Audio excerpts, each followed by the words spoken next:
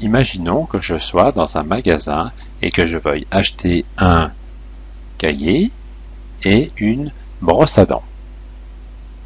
Je vois que le cahier coûte 1,80€ et que le prix de la brosse à dents est de 9,31€. Donc, je vais écrire 1,80€ plus 9,31€ et je veux savoir combien ça coûte. Bon, je n'ai pas trop envie de sortir ma calculatrice dans un magasin, surtout que je n'ai sûrement pas sur moi. En plus, j'ai beaucoup d'achats à faire à la suite, il faut que j'aille vite. Donc, je vais décider de procéder par ordre de grandeur en utilisant mon cerveau. Donc, pour cela, je vais arrondir pour simplifier les nombres. À la place de 1,80€, je vais écrire 2 euros. Plus à la place de 9,31€, je vais écrire 9 euros.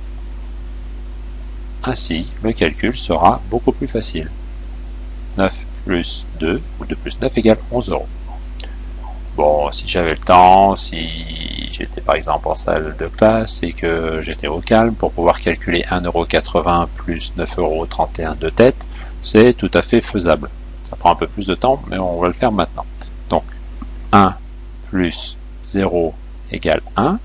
Ensuite, 3 plus 8 égale 11. Je note 1 et je retiens 1. 1 plus 9 égale 10, plus 1 égale 11 donc 11 euros 11. Notre ordre de grandeur de 11 euros est très proche du calcul exact, du résultat exact, de la somme exacte de 11 euros 11. Dans ton cahier de cours, sur la feuille photocopiée, lis la partie, page 2, ordre de grandeur, regarde si tu comprends bien les exemples. En cas de problème, appelle ton professeur.